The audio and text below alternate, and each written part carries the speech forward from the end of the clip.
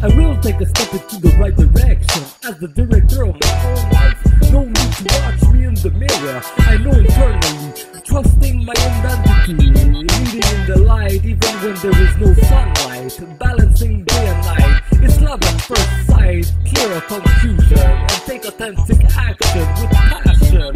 Sound of perfection when it whisper. This is where magic happens sorrow can follow. Intensity we call Thrive City. High frequency dimension. Did I mention where only love lives? Oh yeah. Chicken